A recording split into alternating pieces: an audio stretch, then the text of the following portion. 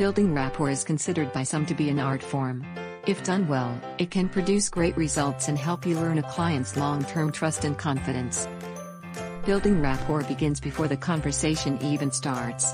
As a first step, do your research in advance to learn about the potential client and their organization to determine if you have any commonalities.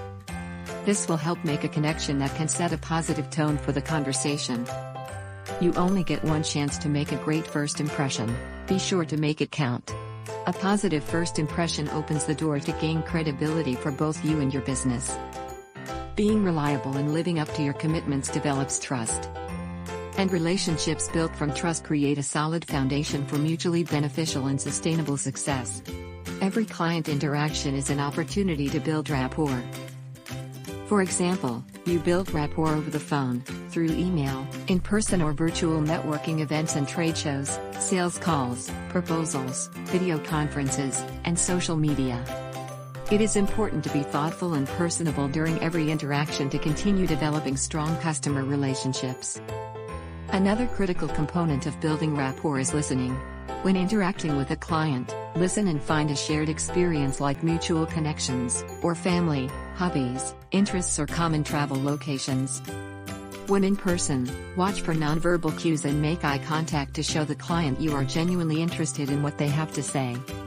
If you have a CRM or customer relationship management tool, read through prior interactions with your client in preparation of your meeting or call. This can help identify any possible pain points the client had in the past that you can address or in some cases avoid. The client will notice your preparedness and trigger an opportunity to build rapport by showing you value their time and relationship. Building rapport does not end when a client signs a contract, purchases your product or service, or turns over to account management.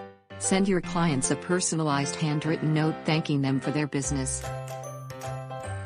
This is a great opportunity to stay top of mind. You can continue to build the relationship through such things as your consistent personalized communication. Holding up your commitments and staying in touch even if there is not an immediate business need. The saying is true people do business with people they like. Genuine relationships lead to loyal, repeat clients. This is what rapport building is all about.